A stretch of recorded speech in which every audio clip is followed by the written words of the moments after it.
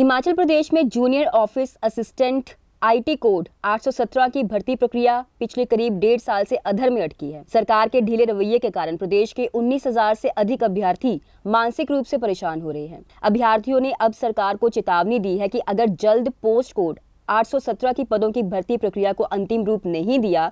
तो वे विधानसभा चुनावों में भाजपा सरकार के खिलाफ प्रचार करेंगे। Junior office assistant post code 817 के अभ्यर्थियों ने बताया कि सरकार इस विषय में कोई गंभीर कदम नहीं उठा रही है। 2021 से लटकी इस भर्ती में लगभग उन्नीस हज़ार अभ्यर्थी प्रभावित हो रहे हैं। अभ्यर्थियों ने बताया कि ये मामला उच्च न्यायालय द्वारा रोका गया है और अभी तक सरकार इसमें न्यायालय के समक्ष सकारात्मक पक्ष नहीं रख पाई है। सरकार इस विषय में सार्थक निर्णय ले और इस भर्ती प्रक्रिया को आगे बढ़ाए ताकि अभ्यर्थियों का भविष्य खराब ना हो। अगर सरकार ऐसा नहीं करती है तो वे आगामी चुनावों में सरकार के खिलाफ मोर्चा खोल देंगे।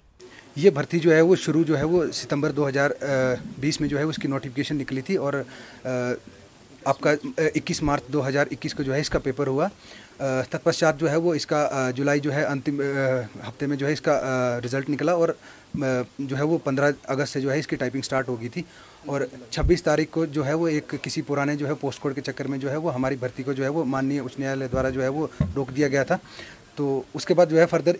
इकतीस दिसंबर को जो है वो इसके ऊपर एक निर्णय आता है और हमारा जो प्रोसेस है वो स्टार्ट हो जाता है और दो फरवरी से जो है ये प्रोसेस स्टार्ट होकर दो मार्च तक चलता है। उसके बाद जो है ये प्रोसेस ख़त्म हो जाता है और हमें जो उम्मीद थी कि सरकार जो है वो और कमीशन जो है इसके ऊपर जो है वो हमारा टाइपिंग का रिज़ल्ट देंगे लेकिन जो है वो अभी तक इसका जो है रिज़ल्ट नहीं आया है तो हम जब भी जो है वो सरकार या इनके नुमाइंदों से जो है इसके रिगार्डिंग जब भी बात करते हैं तो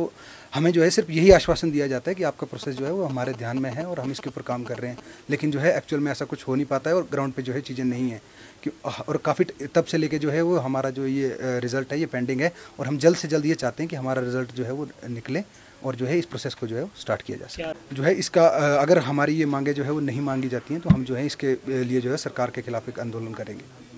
शिमला से एन वन लाइव के लिए योगराज शर्मा की रिपोर्ट।